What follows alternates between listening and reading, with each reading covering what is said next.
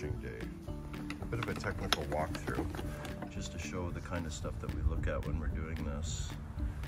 So we're gonna be refreshing all the gardens. There's a few of them, they're big.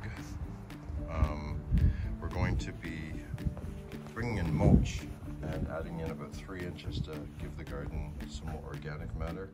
But what that means is that there's already so much soil, we need at least a three inch release around these edges. So we're doing, we'll be doing that today in preparation, all of the edging. So which means we're also removing some material. Not doing a whole lot of pruning of anything, just getting rid of all of the weeds all of the debris that's left around, cleaning all of this out, and the same sort of thing here, where you need to give at least a, you know, a couple of inches of release, deeper if possible. This is what we'll be doing here. Pulling all of this back, um, removing whatever material we need to, to give this a good release all the way around so that when we add in the mulch, it has somewhere to go and forms a really nice solid border.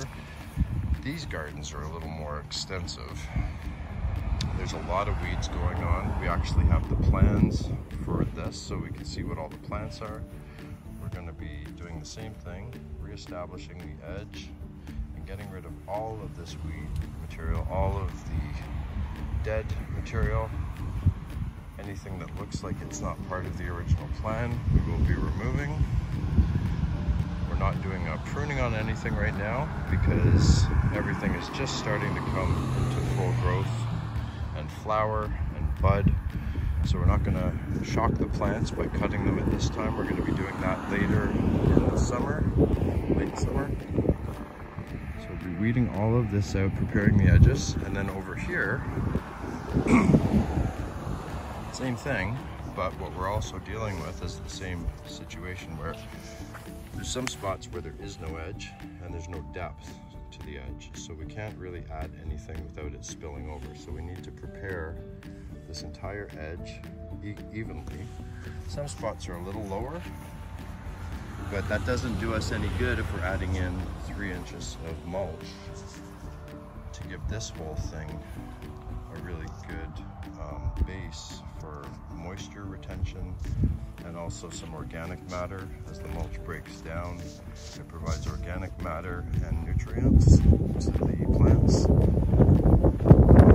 good cleanup. You can see here, no edge at all.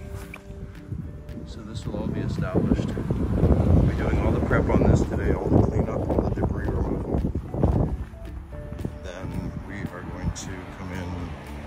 days from now after the rain has stopped this is after four hours of preparation.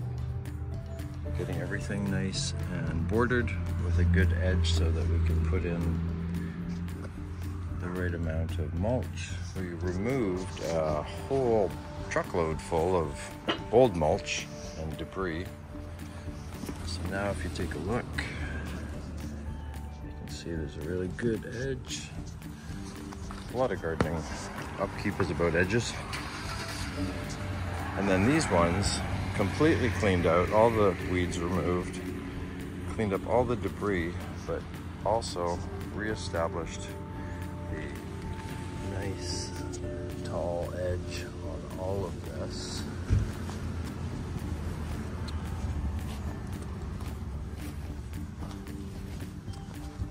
All the way around ready for mulch when we come in Tuesday. Looks fantastic, but it'll look even better. We still got to even out some areas. And then we did the same thing around here, and the root system for cedars is so close to the surface that we exposed some, but there wasn't actually a decent edge on this, so we had to do something. We're gonna finish it off when we come in on Tuesday. So that's all cleaned out.